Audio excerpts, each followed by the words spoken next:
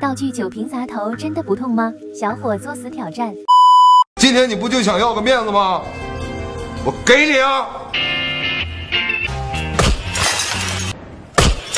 看着都疼啊，兄弟们！小的时候我一直认为影视剧当中用啤酒瓶砸头用的是真的啤酒瓶，直到我买到了这个啊影视道具专用啤酒瓶。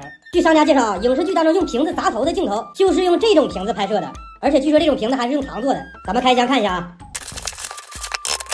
就这么一个道具瓶，花了我这么多，接不到吧你们？这够我买多少啤酒的了？还送了两张啤酒的贴纸啊！可以看啊，青岛啤酒。我们来听一下这个酒瓶的声音啊，跟塑料一样。这个是真正的啤酒瓶啊，咱们来对比一下啊。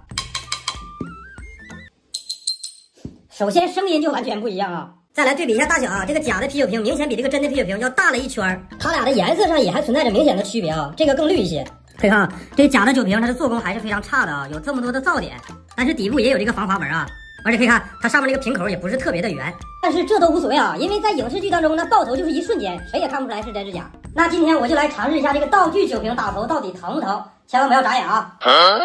当我在评论区输入“羊了个羊”，难道又出新特效了吗？我试一下，羊了个羊发射，哎呦我去，还真有羊出来呀！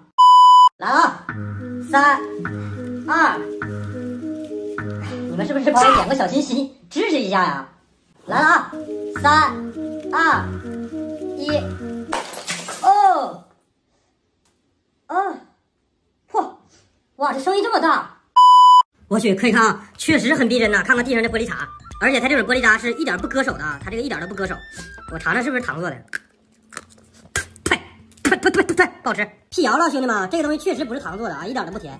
再说一说这个东西打在脑袋上的感觉吧，啊，不疼，没什么太大的感觉，小孩都能接受。好几十块就这么没了。所以你们说用真酒瓶打头和假酒瓶打头哪个比较疼？